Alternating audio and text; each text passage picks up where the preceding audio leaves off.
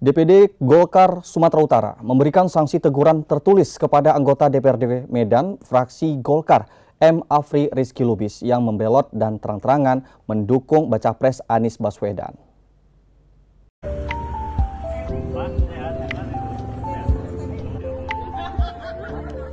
Usai aksinya viral terang-terangan mendukung dan mengampanyekan baca pres Anies Baswedan, anggota DPRD Medan fraksi Golkar M. Afri Rizky Lubis mendapat sanksi teguran tertulis.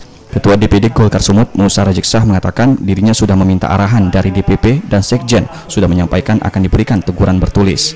Rizky belum diberikan sanksi pemecatan, Ke depan Ijek mengatakan DPD akan terus memantau Rizky usai aksinya tersebut, namun tak menutup kemungkinan jika berseberangan dengan partai dan tidak mengikuti keputusan Ketua Umum Erlangga Hartarto, Rizky berpotensi dipecat dari Partai Golkar.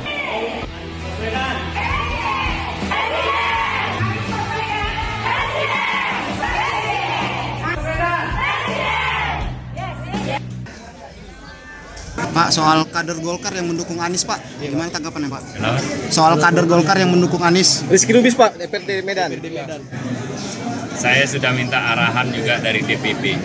DPP sudah menyampaikan kepada saya, Sekjen menyampaikan kepada saya, akan kita beri teguran tertulis dan akan kita lihat lagi ke depan seperti apa perlakuan. Apakah, di, apakah dipecat? Ya, kita masih teguran dulu, nanti kita lihat ke depan seperti apa.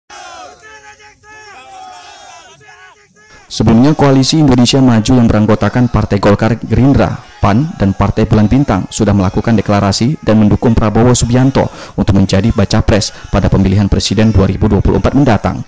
Dari Medan, Ahmad Ridwan Nasution, iNews melaporkan.